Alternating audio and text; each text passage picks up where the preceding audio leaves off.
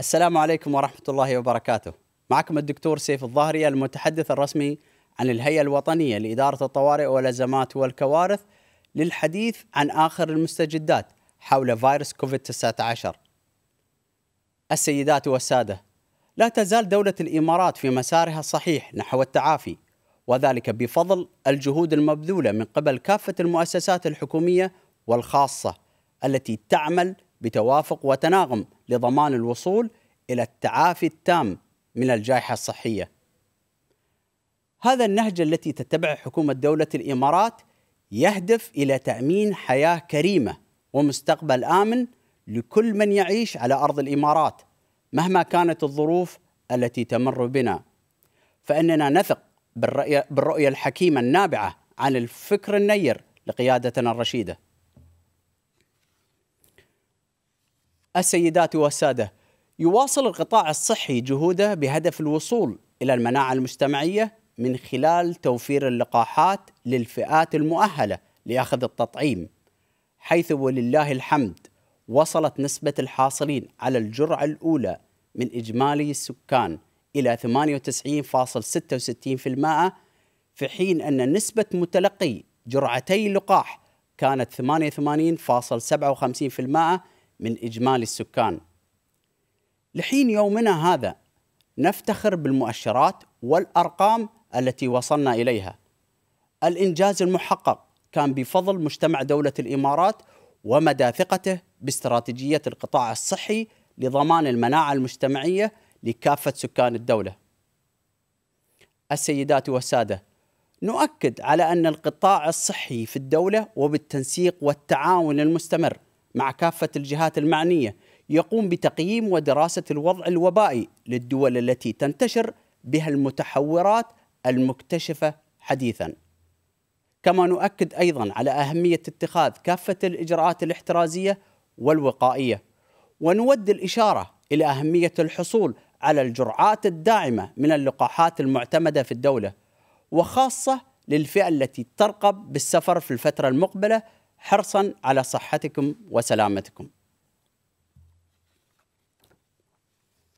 السيدات والسادة، نعلن اليوم عن تحديث بروتوكول عودة الصلاة في المساجد والمصليات، وذلك بالتنسيق مع الهيئة العامة للشؤون الإسلامية والأوقاف. يشمل البروتوكول المحدث فتح مصليات الطرق الخارجية وأماكن الوضوء ودورات المياه ومصليات النساء. وننوه على كافة العاملين بالمساجد والمصليات إلى طباعة ولصق الإرشادات التوعوية في أماكن الوضوء بالإجراءات الاحترازية وبعدة لغات تتضمن العربية والإنجليزية والأردو. ونعلن عن فتح أحواض الوضوء بطريقة ترك حوض مغلق بين الحوض والحوض الآخر وإعادة توفير المحارم الورقية من خلال الأجهزة الإلكترونية لتزويد المحارم لتجنب الاتصال المباشر في أماكن الوضوء والمساجد. كما يتضمن البروتوكول وجوب تنظيف وتطهير وتعقيم أماكن الوضوء ودورات المياه قبل كل صلاة وبشكل دوري مع تطبيق التباعد الجسدي بين المصلين إلى متر ونصف المتر.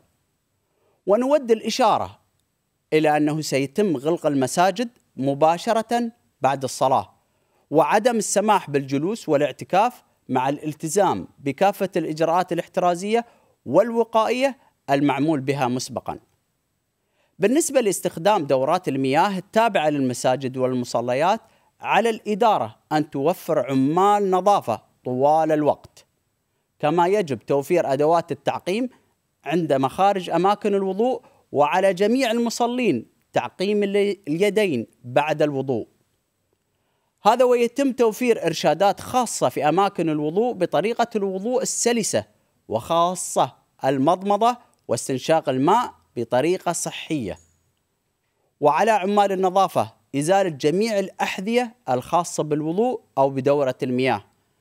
كما على عامل النظافة تنظيف وتطهير وتعقيم أماكن الوضوء ودورات المياه بعد انتهاء المصلي من الوضوء أو دورة المياه قبل استخدام المصلي الآخر.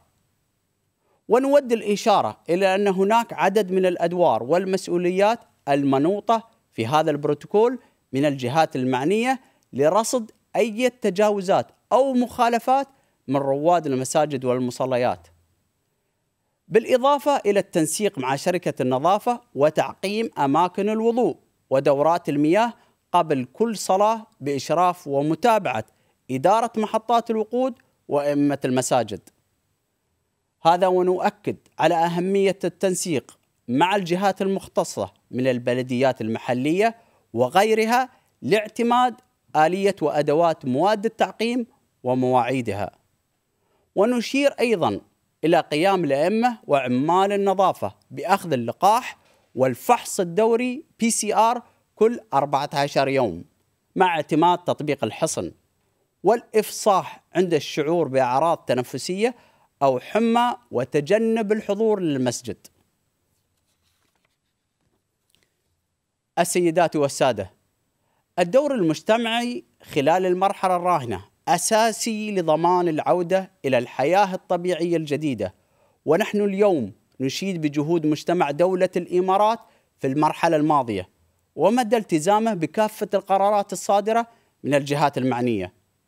المسؤولية تقع على عاتق الجميع وتحديدا عند الحديث عن الحفاظ على مكتسبات الدولة ومنجزاتها وما تم تحقيقه خلال العامين الماضيين نهيب جمهورنا الكريم إلى أهمية الالتزام بكافة الإجراءات الوقائية والاحترازية في ظل الانفتاح التدريجي وموسم الفعاليات والاحتفالات الرسمية. الحفاظ على سلامتكم وصحتكم أولوية قصوى لدى قيادتنا الرشيدة. حفظكم الله وحفظ دولة الإمارات قيادة وشعبا والسلام عليكم ورحمة الله وبركاته